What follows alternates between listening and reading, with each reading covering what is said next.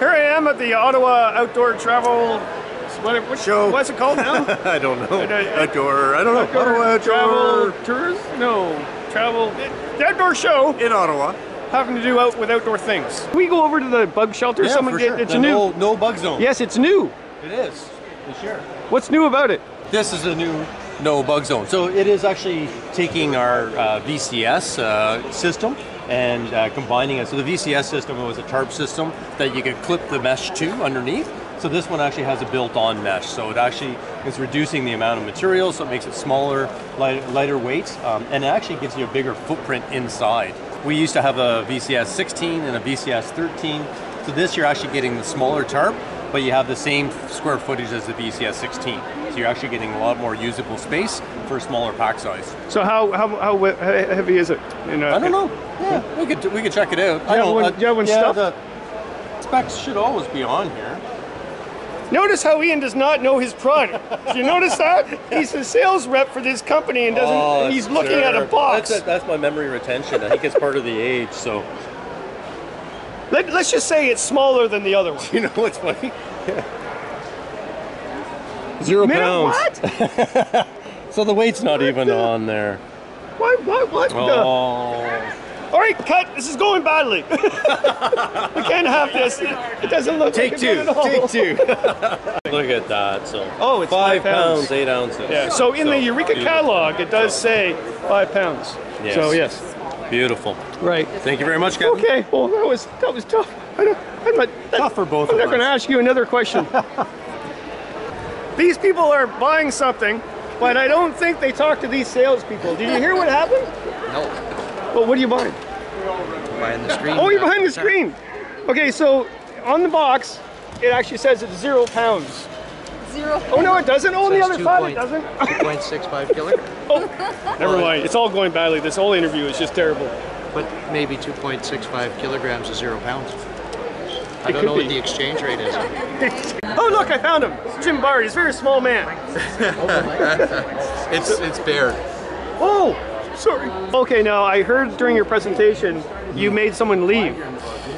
Yeah, I uh, I was trying to show a first aid video that was of me treating a really bad burn on my hand.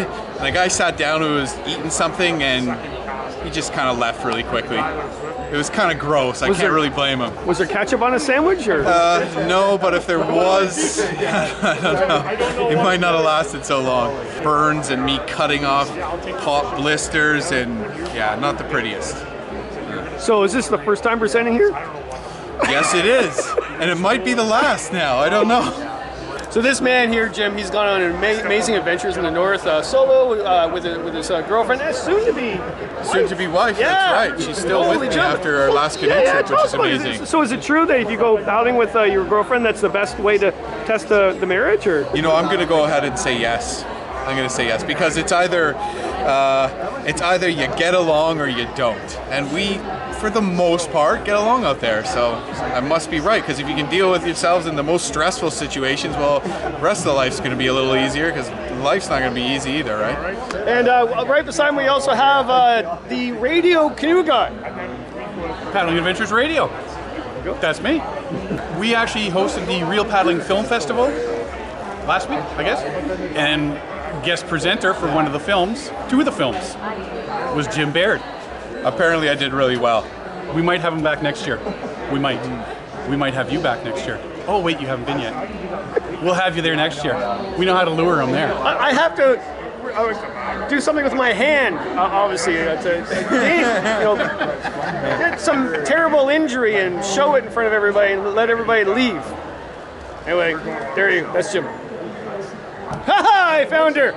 The other, the other part of Jim, the important part, and I'm going to get her perspective on the trip. So he said you guys got along really well on the trip, and that's why you uh, guys are getting married. We get along when he's not yelling at me, I guess. We get along really well, except for when we don't. I trusted him too much, I think, the first time.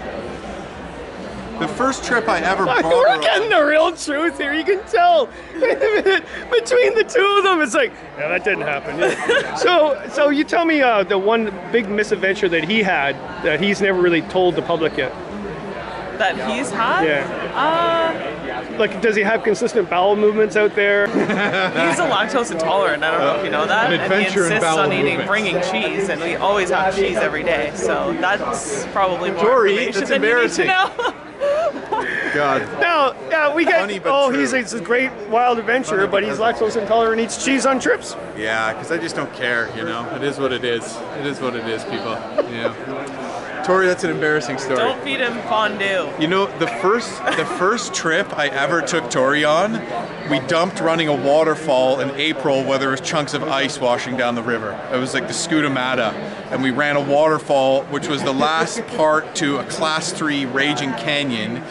I didn't have a dry suit on, but I was smart enough to give her my dry suit, which you can imagine was a little big. Uh, but you know, if she could survive that, she could survive anything. So if you want your significant other to go on a canoe trip, probably you shouldn't whip her into a whitewater run in April. Uh, uh, did he ask you during a trip? No, he actually took me to Jamaica. Jamaica, yeah. Yeah, man. Yeah, so the one all inclusive vacation we've been on in four and a half years. Yeah, so sweet. Well, oh, I spent four months under canvas last year. So, and the last one, it was a long stint, and I was away from her. So I figured when I get back, I'm going to take her to Jamaica.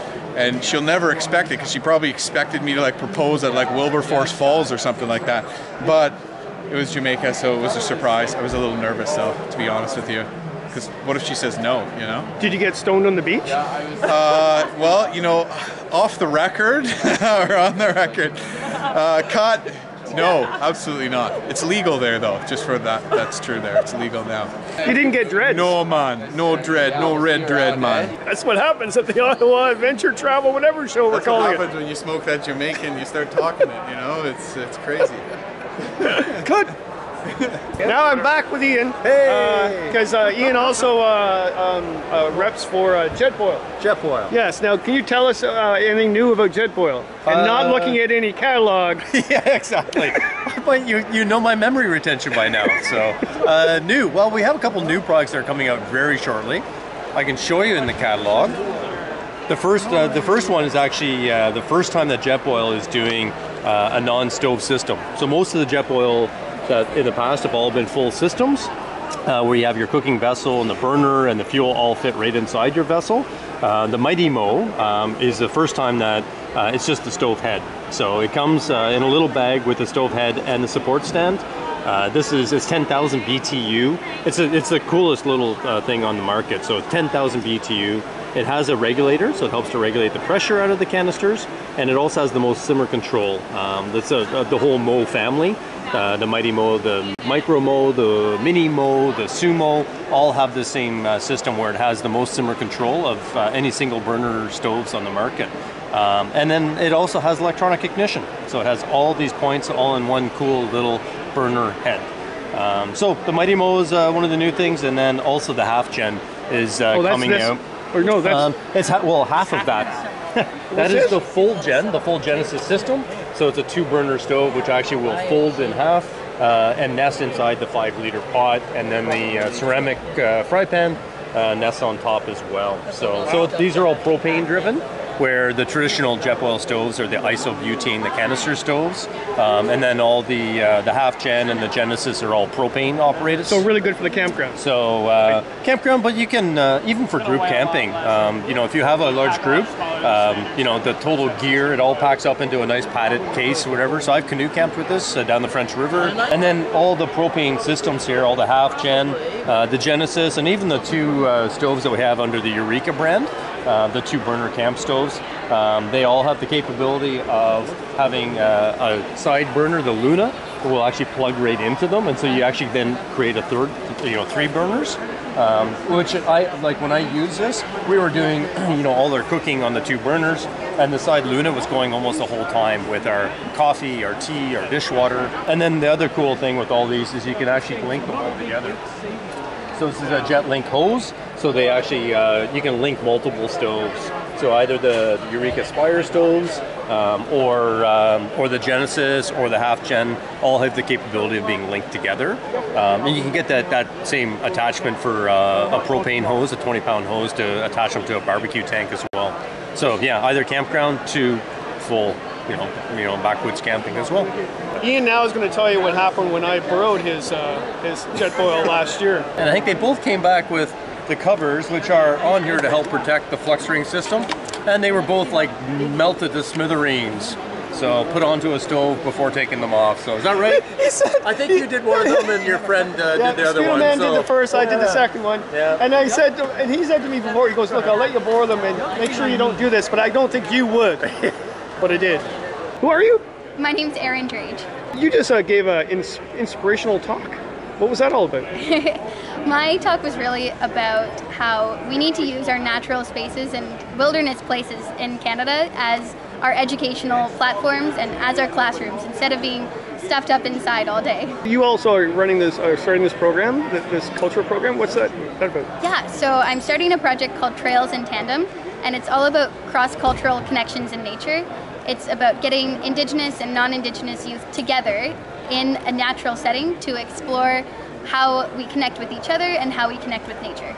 It was inspired by my first trip up to the Northwest Territories, and I realized how lucky we are we are to have this amazing natural and cultural heritage in Canada, and it's it's not being taken advantage of, and it's not being shared as much as it should be. So we wanted to start this project to offer people the opportunity to really get out there and connect. I'm about to graduate from my bachelor degree at Queen's University, and I'm I'm off to do big things, hopefully out in nature.